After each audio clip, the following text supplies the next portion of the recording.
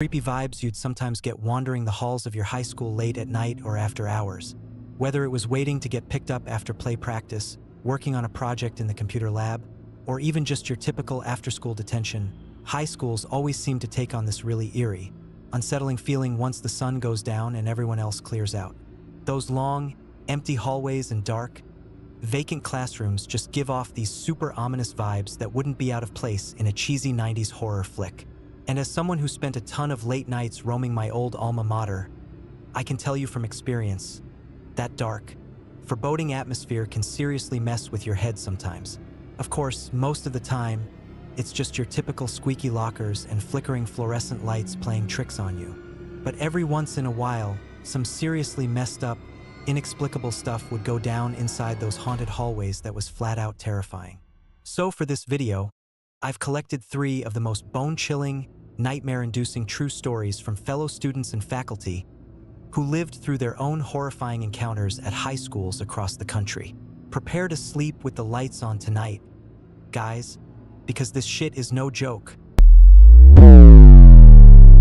The Mutilated Janitor, our first story, comes from a high school in rural Pennsylvania, and it was shared by Michael, who was a freshman biology student there back in 2002.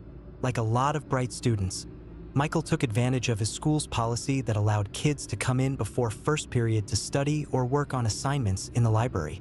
Every morning, around 6.45 a.m., Michael would beat the morning rush and quietly let himself into the library through the back entrance to get a head start on his homework or studying.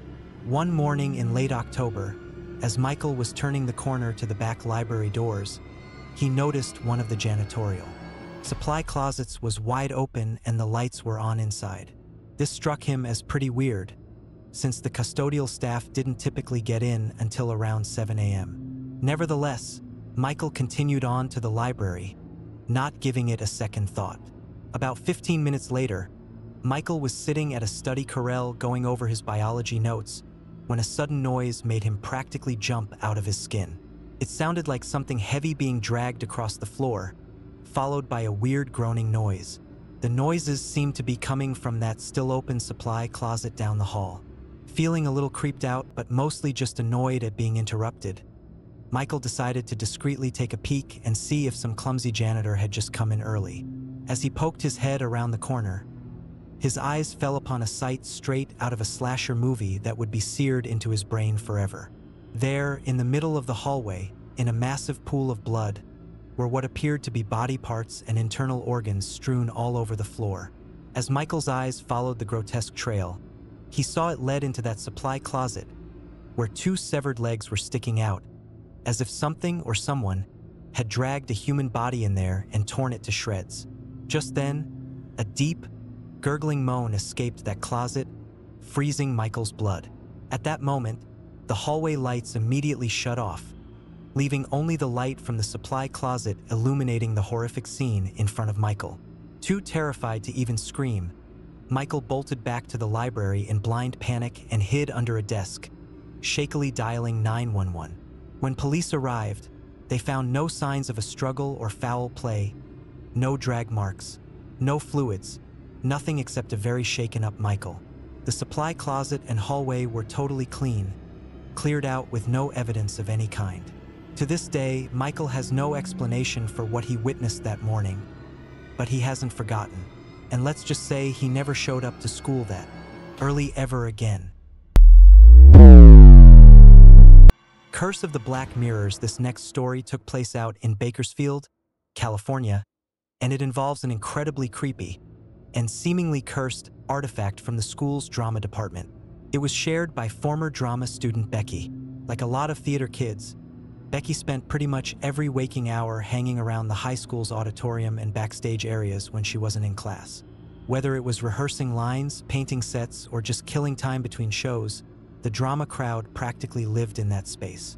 One of the props that had been kicking around the prop room for years was this old vintage vanity with three angled black oval mirrors. It was definitely an antique piece and had this super sinister, foreboding vibe that made it a pretty creepy prop for a high school play. Most of the drama kids just referred to it as the Black Mirrors.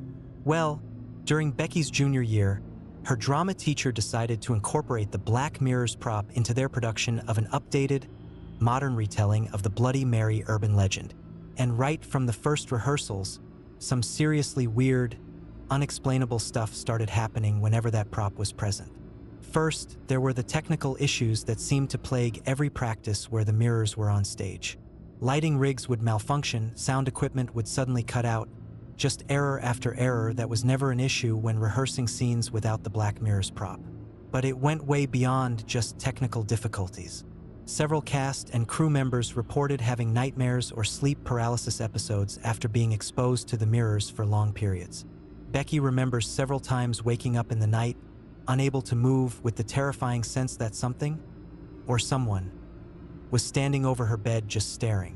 Perhaps the most disturbing incident happened during one of the last dress rehearsals before opening night. In the climactic scene, the lead, actress is supposed to recite the rhyme while staring into the black mirrors, beckoning a demonic entity. But toward the end of the scene, the lead suddenly stopped, frozen, and her face contorted into a look of sheer terror as if she saw something truly horrifying in those mirrors. She started screaming hysterically and clawing at her face in panic before finally passing out cold. When she was revived, the actress kept babbling about seeing her own dead face staring back at her from the mirrors. She ended up having a total breakdown and had to withdraw from the play.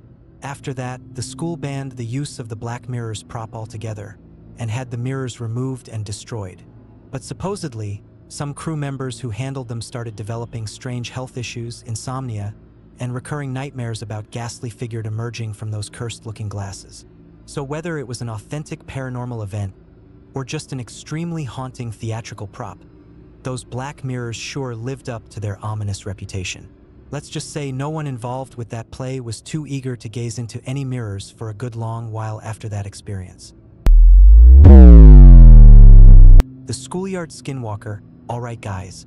For our third and final tale, we're heading out to the Navajo Nation in New Mexico. And I'm warning you now, this one is absolutely bonkers. Like nothing you've ever heard before. It comes from a woman named Lily, who was a high school senior back in 2009. Like most high schools, Lily's was located a little ways outside of town, surrounded by patches of desert and mesas. And with limited transportation in and out of the Navajo territory, most of the students ended up having to hang around campus pretty late in the evening waiting for rides home after sports practices, club meetings, or whatever.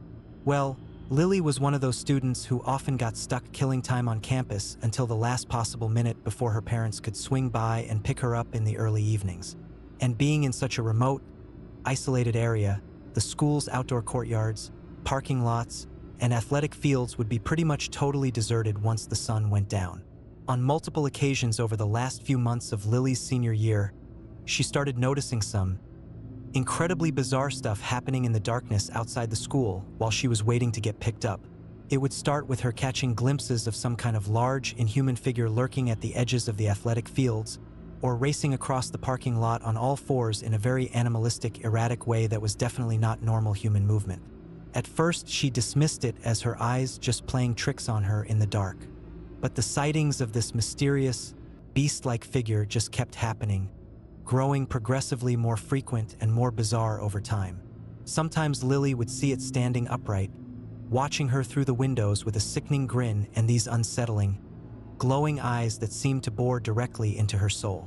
Other times, she'd turn around and find the creature had seemingly teleported, appearing right behind her just crouching there, mere feet away, letting out these guttural growls and snarls that sent chills down Lily's spine.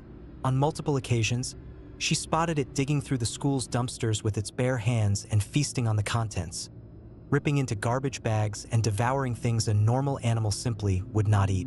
As terrifying as these close encounters were, Lily didn't dare tell anyone about them at first. That is, until some of the other students started corroborating her sightings as well.